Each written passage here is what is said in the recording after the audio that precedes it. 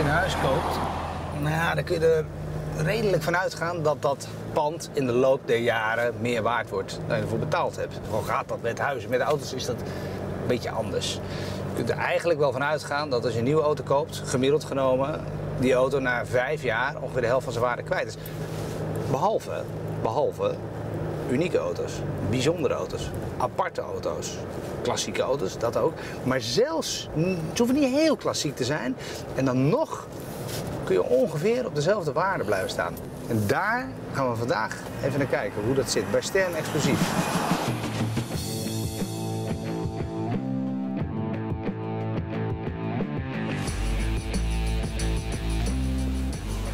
Dat is leuk hè, 124 Abarth. En we zijn bij een eh, plek waar ze nogal exclusieve auto's hebben, een 500. Hm. Ja, toch wel. 595. Een heel uniek apparaatje. Een BMW M5 Competition Pack. Dat is wel vrij apart. En dan heb je ze dus ook. Dan hebben ze een gelimiteerde productie. Nog weer beter.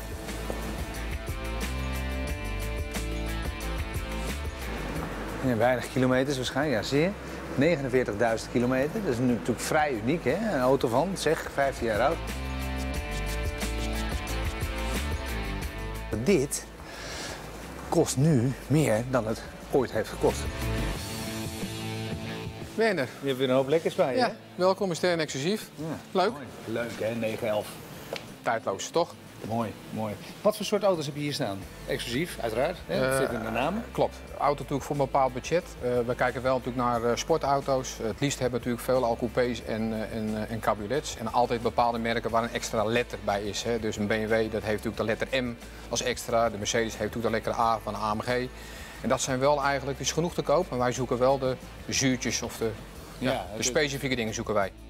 Basis is natuurlijk altijd dat je natuurlijk met een redelijke acceptabele kilometerstand begint natuurlijk ook. En wat natuurlijk voor ons heel belangrijk als bedrijf is dat we de auto testen en zeker het onderhoud van de auto, de historie van de auto. Hè. Dus als ik een boekje openslaat, dan kijk ik even of er verschillende stempeltjes zitten. En niet dat je op een bureau gelegen hebt en dat je denkt van hé, die zijn in, eh, in 10 seconden hebben ze vijf stempels gedrukt. Wat is dan je uniekste hier?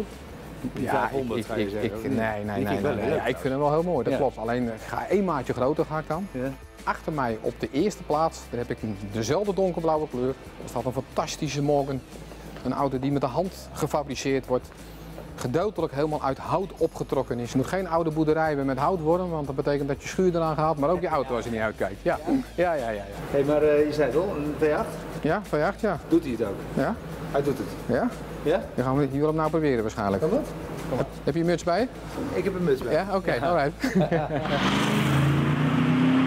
Dit is dus exclusief vanuit meerdere oogpunten. Exclusief is een verschijning, exclusief is een soort. Waar vind je nou een auto met een stalen chassis, met een starre as, met een houten frame, met, met, met, met ijzeren plaatdelen, en met een dikke V8 voorin. Exclusief is een prijs, ook oké, 60.000 euro. Maar de wetenschap dat het niet minder waard wordt. Nee, de wetenschap dat het gewoon langzamerhand in waarde vermeerdert. Dus je kunt lol hebben achter het stuur. En, en zonder dat het altijd veel geld kost. Ja, goed, je moet ze eerst afrekenen, dat snap ik. En je hebt wat onderhoud. En het rijden ervan, dat kost geld. Maar je weet zeker dat als je hem ophaalt, dat het niet minder wordt. En je weet ook zeker dat je zo'n heerlijke V8 voorin hebt. Dus, dus, dus altijd rijplezier. Die 3.9 Rover motor. Weinig kilo's. Heel veel exclusiever wordt het niet. Nou, heel veel puurder wordt het ook niet.